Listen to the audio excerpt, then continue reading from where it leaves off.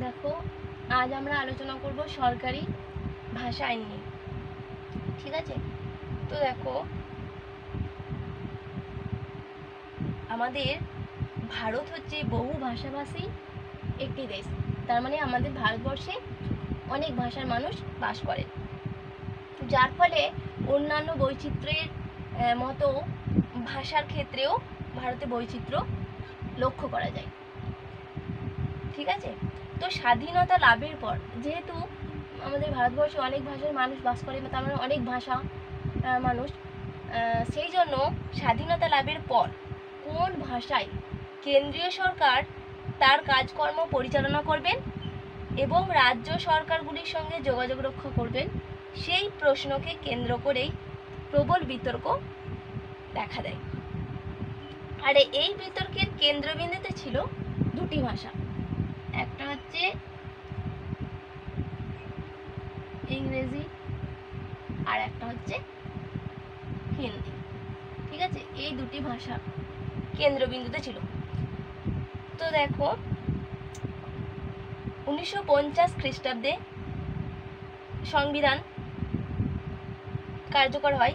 তো এই উনিশশো পঞ্চাশ খ্রিস্টাব্দের যে সংবিধান, তো সেই সংবিধানে এই দেবনাগরী অক্ষরে লিখিত যে ভাষা, সেই ভাষাটা হচ্ছে কি? না, হিন্দি ভাষা। তো সেই হিন্দি ভাষাকে সরকারি ভাষা হিসাবে স্বীকৃতি দেওয়া হয় এই উনিশশো পঞ্চাশ খ্রিস্টাব্দের সংবিধানে। এবং সরকারি ভাষা কমিশন গঠিত হচ্ছে উনিশশো পঞ্চান্ন খ্রিস্টাব্দে। কত খ্রিস্টাব্দে? না, উনিশশো পঞ্চান্ন খ্রিস্টাব্দে। গঠিত হচ্ছে সরকারি ভাষা কমিশন। সরকারি ভাষা কমিশন। তো এই সরকারি ভাষা কমিশনের দুইজন সদস্য ছিলেন, ঠিক আছে? দুইজন সদস্য ছিলেন। একজন হচ্ছেন পশ্চিমবঙ্গের আর একজন ছিলেন তামিলনাড়ু ঠিক আছে? একজন ছিলেন পশ্চিমবঙ্গের আর একজন ছিলেন তামিলনাড়ু দেখো পশ্চিমবঙ্গের যিনি ছিলেন, তিনি হচ্ছেন সুনীতি কুমার চট্টোপাধ্যায়। সুনীতি কুমার।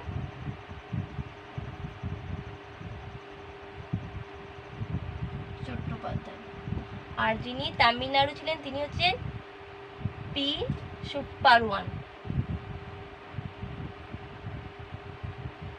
পি সুব্বা রোয়ান ঠিক আছে? তাহলে কি বললাম? যে উনিশশো পঞ্চান্ন খ্রিস্টাব্দের যে সংবিধান, তো সেই সংবিধানে দেবনাগরী হরফে বা দেবনাগরী অক্ষরে লিখিত যে ভাষা, সেই ভাষাটার নাম হচ্ছে হিন্দি ভাষা। তো সেই হিন্দি ভাষাকে এই উনিশশো পঞ্চাশ খ্রিস্টাব্দের সংবিধানে সরকারি ভাষা হিসেবে স্বীকৃতি দেওয়া হয়। এবং এই সরকারি ভাষা কমিশন এটা গঠন করা হচ্ছে উনিশশো পঞ্চান্ন খ্রিস্টাব্দে এবং এই ভাষা কমিশনে দুইজন সদস্য ছিলেন এবং সেই দুজন সদস্য হচ্ছেন পশ্চিমবঙ্গের একজন, যিনি হচ্ছেন সুনীতি কুমার চট্টোপাধ্যায় আর ছিলেন তামিলনাড়ুর যিনি তিনি হচ্ছেন পি সুব্বারোয়ান ঠিক আছে? এবার দেখো, এই যে সরকারি ভাষা কমিশন, তো এই সরকারি ভাষা কমিশন তার প্রতিবেদন পেশ করেছিলেন কত খ্রিস্টাব্দে? না, এই সরকারি ভাষা কমিশন তার প্রতিবেদন। তার প্রতিবেদন পেশ করেন উনিশশো ছাপ্পান্ন খ্রিস্টাব্দে। ঠিক আছে? এবং এই যে উনিশশো ছাপ্পান্ন খ্রিস্টাব্দে এই যে তার প্রতিবেদন পেশ করলেন, তো সেই প্রতিবেদনে যে সিদ্ধান্তগুলি নেওয়া হয়েছিল বা তার প্রধান যে সিদ্ধান্তগুলি ছিল, সেগুলো কি কি দেখো? কি বলা হয়েছিল? না, প্রথমত বলা হয়েছিল যে, এই যে বললাম, দেবনাগরী অক্ষরে লিখিত যে ভাষা সেটার নাম বললাম যে হিন্দি ভাষা। তো সেই হিন্দি ভাষাকে ভারতের সরকারি ভাষা হিসেবে স্বীকৃতি দেওয়া হবে। আর দ্বিতীয়ত যেটা, সেটা হচ্ছে সরকারি উদ্দেশ্যে ইংরেজি ভাষার ব্যবহার আগের মতোই উনিশশো পঁয়ষট্টি খ্রিস্টাব্দ। কত খ্রিস্টাব্দ বললাম? না, উনিশশো পঁয়ষট্টি খ্রিস্টাব্দ। ছাব্বিশে জানুয়ারি। পর্যন্ত বহাল থাকবে তাহলে কি বললাম? যে সরকারি উদ্দেশ্যে এই ইংরেজি ভাষার যে ব্যবহার, সেই ব্যবহারটা আগের মতো বহাল থাকবে কতদিন পর্যন্ত? না, উনিশশো পঁয়ষট্টি খ্রিস্টাব্দে ছাব্বিশে জানুয়ারি পর্যন্ত বহাল থাকবে ইংরেজি ভাষার ব্যবহার। ঠিক আছে? এরপর কি হবে? না, এরপর হিন্দি হবে ভারতের একমাত্র। এই উনিশশো পঁয়ষট্টি খ্রিস্টাব্দ ছাব্বিশে জানুয়ারি পর কি হবে? না, শুধুমাত্র হিন্দি হবে একমাত্র সরকারি ভাষা। একমাত্র সরকারি ভাষা হবে। বোঝা গেছে আর কি বলা হয়েছিল? না, সরকারি ভাষাই হবে কেন্দ্রের সঙ্গে রাজ্যগুলির যোগাযোগের ভাষা। আরও বলা হচ্ছে যে, রাজ্য স্তর যেটা, সেই রাজ্য স্তরে সরকারি ভাষা কি হবে? তা কে স্থির করবেন রাজ্য বিধানসভা? যিনি, তো সেই রাজ্য বিধানসভা স্থির করবে বা রাজ্য বিধানসভা ঠিক করবে। তো সরকারি ভাষা কমিশনের এই যে সিদ্ধান্ত, তো এই সিদ্ধান্তের পরিপ্রেক্ষিতেই আমরা দেখতে পাই যে দক্ষিণ ভারতের রাজ্যগুলিতে এই হিন্দি ভাষার বিরুদ্ধে প্রবল বিক্ষোভ শুরু হয়। কারণ এখানে হিন্দি ভাষাকে সবচেয়ে বেশি অগ্রাধিকার দেওয়া হয়েছিল। এই সরকারি ভাষা কমিশনে, যেটা দক্ষিণ ভারতের রাজ্যগুলি মেনে নিতে পারেনি। সেই জন্য দক্ষিণ ভারতের রাজ্যগুলিতে এই হিন্দি ভাষার বিরুদ্ধে প্রবল বিক্ষোভ দেখা যায় তো এই অবস্থায় ভারতীয় পার্লামেন্ট বাধ্য হয় এক আইন পাস করতে। যেই আইনটার নাম হচ্ছে সরকারি ভাষা আইন। কি নাম বললাম? সরকারি ভাষা আইন।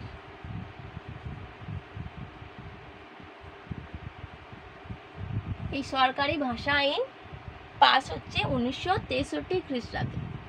উনিশশো তেষট্টি খ্রিস্টাব্দে, ঠিক আছে?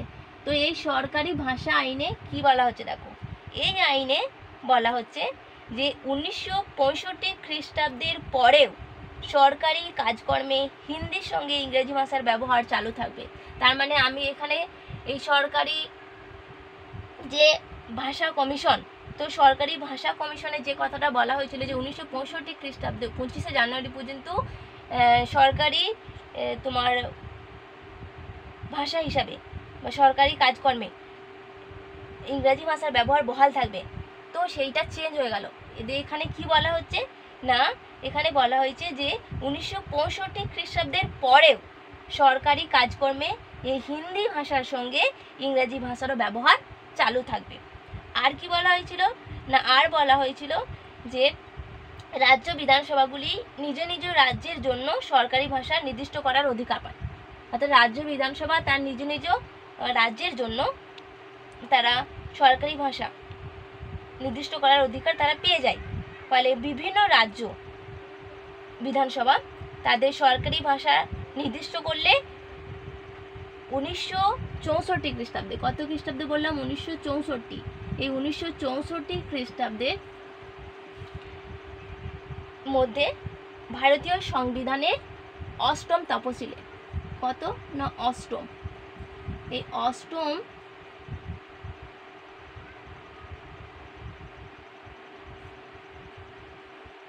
এই অষ্টম তপশিলে সরকারি ভাষা হিসাবে চোদ্দোটি ভাষা স্থান পায়।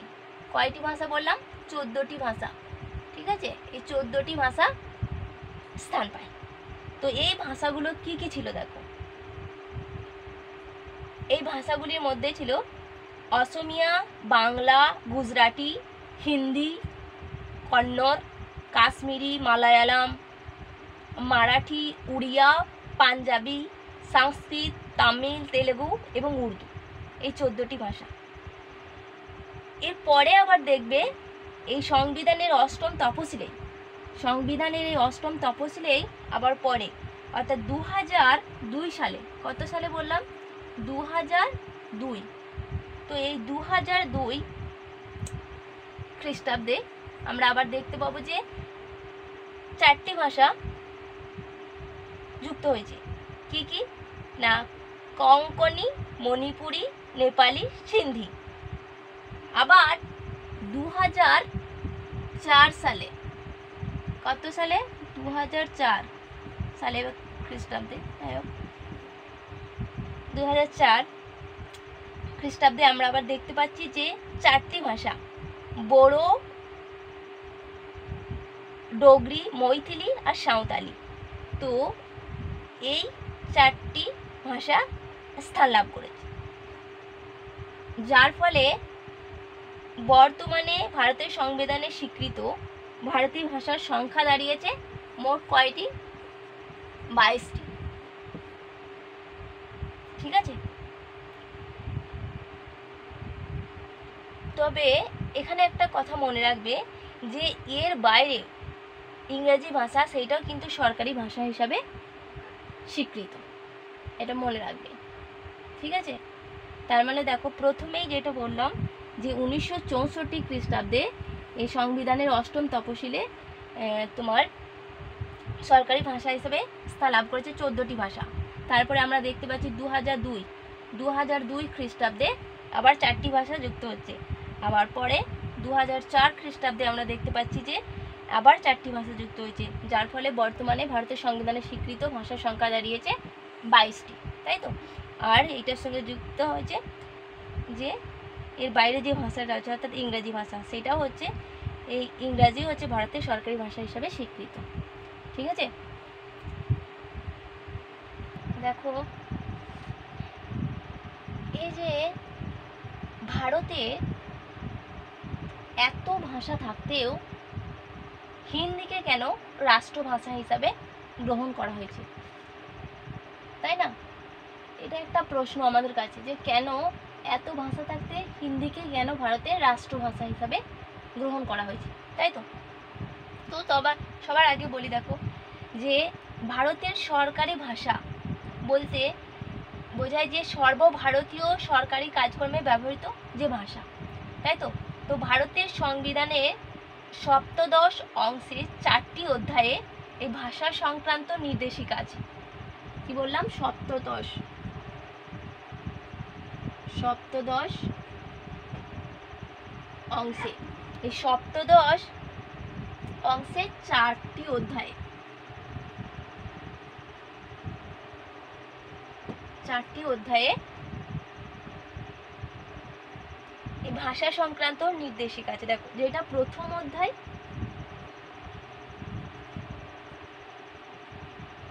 তো প্রথম অধ্যায়ে আছে কেন্দ্রের সরকারি ভাষা।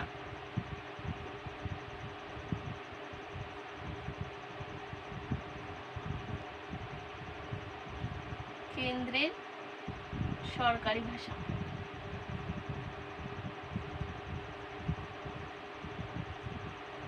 যেটা দ্বিতীয় অধ্যায়, সেইখানেতে আছে আঞ্চলিক ভাষা সমূহ সম্পর্কে।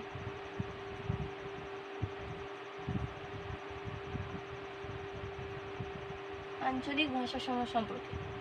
যেটা তৃতীয় অধ্যায়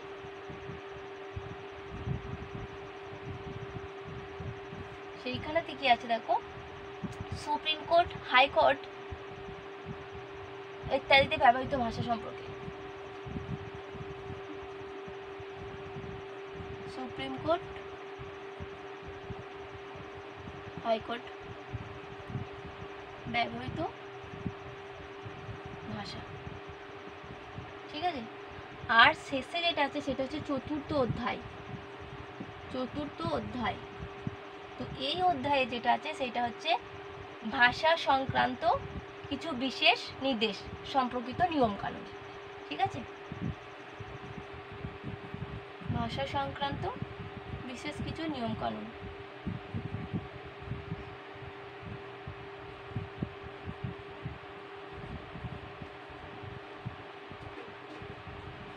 তো এইগুলো একটু মনে রাখবে। ঠিক আছে? তো দেখো এই রাষ্ট্রভাষা হিসাবে কেন হিন্দিকে গ্রহণ করা হলো, তাই তো? তো দেখো, ব্রিটিশ ভারতে সরকারি কাজের ভাষা ও শাসক আমলাদের ভাষা ছিল কিন্তু কি বলতো, ইংরেজি। স্বাধীন ভারতে এই ইংরেজি ভাষা চালু থাকলেও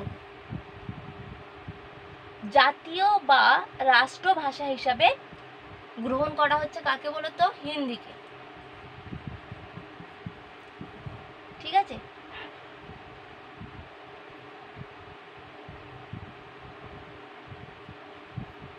সংবিধানের অষ্টম তপশিলে সতেরোতম অংশে এই তিনশো তেতাল্লিশ, তিনশো চুয়াল্লিশ এবং তিনশো একান্ন নং ধারায় ভাষার বিষয়ে সূত্র দেওয়া হয়েছে। এবং বলা হয়েছে যে হিন্দি হচ্ছে ভারতের রাষ্ট্রভাষা হিসাবে বিবেচিত হবে। এবারে দেখো, এই যে হিন্দিকে রাষ্ট্রভাষা হিসেবে গ্রহণ করার কারণ, সেই কারণগুলো কি কি দেখো?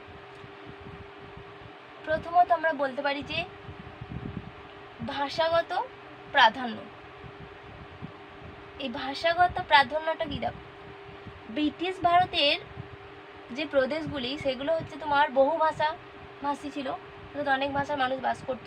তো স্বাধীন ভারতে এই প্রদেশ এবং কেন্দ্রশাসিত অঞ্চলগুলির সঙ্গে আরও বহু সংখ্যক দেশীয় রাজ্য যুক্ত হয়। আমরা আগেই তো জেনেছি, দেশীয় রাজ্যগুলো স্বাধীন হওয়ার পর যুক্ত হয়েছিল, তাই না? তো স্বাধীন ভারতে এই প্রদেশ এবং কেন্দ্রশাসিত অঞ্চলগুলোর সঙ্গে বহু সংখ্যক দেশীয় রাজ্যগুলোও যুক্ত হয়। এর ফলে কি হচ্ছে দেখো এই প্রদেশ এবং অঞ্চলগুলির ভাষাগত বৈচিত্র্যটা কি হচ্ছে? আরও বেড়ে যাচ্ছে। তো এই অবস্থায় আঞ্চলিক ভাষাগুলি কোনো কোনো প্রদেশে প্রধান ভাষা হলেও তার পাশের প্রদেশের অপ্রধান ভাষা হয়ে উঠছে। এক্ষেত্রে কিন্তু হিন্দি ভাষা ছিল কি বলতো? ব্যতিক্রম। ভারতের মোট জনসংখ্যার বিচারে এই হিন্দি ভাষা ব্যবহারকারী সংখ্যা ছিল সবচেয়ে বেশি। তো এইটা একটা কারণ। দ্বিতীয়ত হচ্ছে সাধারণের বোধগম্য। দেখো, এই যে হিন্দি ভাষা, তো এই হিন্দি ভাষাটা ছিল খুব সহজ সরল, যার ফলে এই ভাষা শেখা এবং এই ভাষায় কথা বলার জন্য বই পড়ার দরকার হতো না। শুনে শুনে এই ভাষা শেখা যেত এবং তা বলাও যেত। তৃতীয়ত আমরা বলতে পারি যেটা, সেটা হচ্ছে যে তোমার সরকারি ভাষা। দেখো, আগে এই আঠেরোশো পঁয়ত্রিশ খ্রিস্টাব্দে সরকারির কাজে ফার্সি ভাষা সেই সময়ে বহাল ছিল। তারপরে আঠেরোশো পঁয়তাল্লিশ খ্রিস্টাব্দে সরকারি কাজে সরকারি যে কাজ, তো সেই কাজে সরকারি কাজে এই ফার্সি ভাষার বদলে ইংরেজি ভাষার ব্যবহার চালু হয়। তার মানে কি বললাম? এই যে আগে, অর্থাৎ ইংরেজি ভাষার আগে ফার্সি ভাষা চালু ছিল সেই জন্য বলা হচ্ছে যে আঠেরোশো পঁয়ত্রিশ খ্রিস্টাব্দের সময় থেকে সেটা চেঞ্জ চেঞ্জ হচ্ছে। অর্থাৎ আঠেরোশো পঁয়ত্রিশ খ্রিস্টাব্দের আগে সরকারি কাজকর্মে এই ফার্সি ভাষার ব্যবহার ছিল। তো আঠেরোশো পঁয়ত্রিশ খ্রিস্টাব্দে সময় থেকে আমরা দেখতে পাচ্ছি যে সরকারি কাজকর্মে এই ফার্সি ভাষার বদলে চালু হচ্ছে। অর্থাৎ ব্যবহার হচ্ছে যেটা, সেটা হচ্ছে ইংরেজি ভাষা। তারপর ব্রিটিশ সরকার সরকারি কাজে এই দেবনাগরী লিপির ব্যবহার চালু করে। এবং ক্রমে তা অন্যান্য হিন্দি ভাষা অঞ্চলেও প্রসারিত হয়। আর আমরা জানি যে এই দেবনাগরী যে অক্ষরে লিখিত যে ভাষা, তো সেখান থেকে হিন্দি ভাষা এসছে। তো যার ফলে আমরা দেখতে পাচ্ছি যে এই ব্রিটিশ আমল থেকেই ইংরেজি ভাষার বিকল্প হয়ে গড়ে উঠছে তোমার এই হিন্দি ভাষা। তাছাড়াও ভারতবর্ষে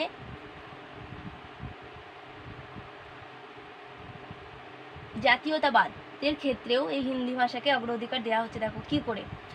যেমন আমাদের ভারতবর্ষ আগে হিন্দুস্তান নামে পরিচিত ছিল। দেশভাগের পর পাকিস্তান সৃষ্টি হলে এই হিন্দুস্তান নামটি আরও ব্যাপক প্রচলিত হয় আরও ছড়িয়ে পড়ে। ভারতের বেশিরভাগই মানুষ ছিল হিন্দু, তো ভারতের ভাষাগুলির মধ্যে প্রধান হলো হিন্দি। যার ফলে দেখতে পাচ্ছি যে সদ্য স্বাধীন ভারতে জাতীয়তাবাদের বিকাশ ঘটাতে এবং সেই জাতীয়তাবাদকে আরও দৃঢ় করতে এই হিন্দু ভাষাকে অনেক বেশি গুরুত্ব দেওয়া হচ্ছে।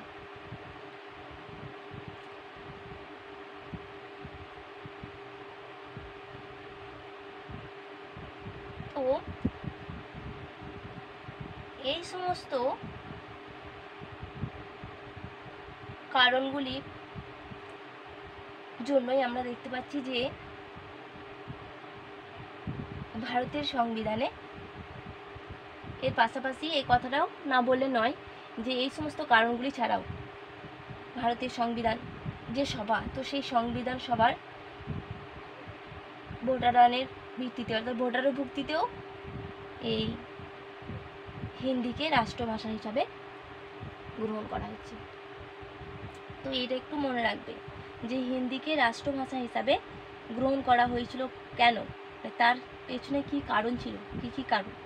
তখন এগুলো ব্যাখ্যা করতে হবে। ঠিক আছে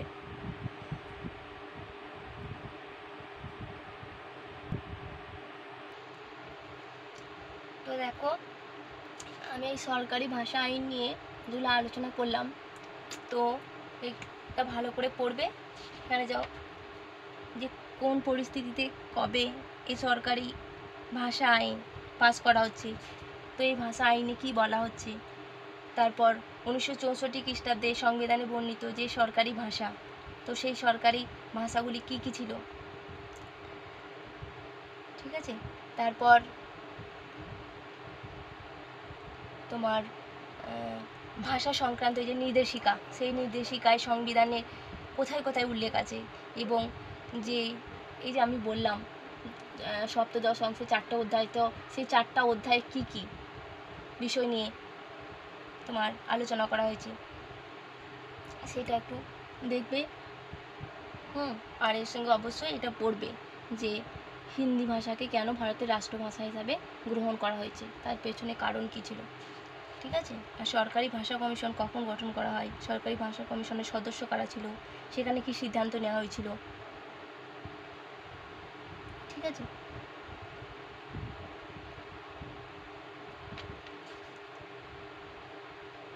এগুলো একটু ভালো করে পড়বে।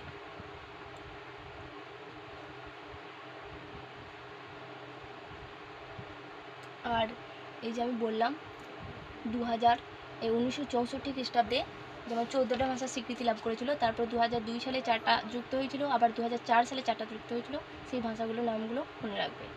আর কোন সময়ে কোন কোন ভাষাগুলো স্বীকৃতি পাচ্ছে সেই সময়টা মানে তোমার সালটাও মনে রাখবে, ঠিক আছে? তো আজ এই পর্যন্তই, আসসালামু আলাইকুম।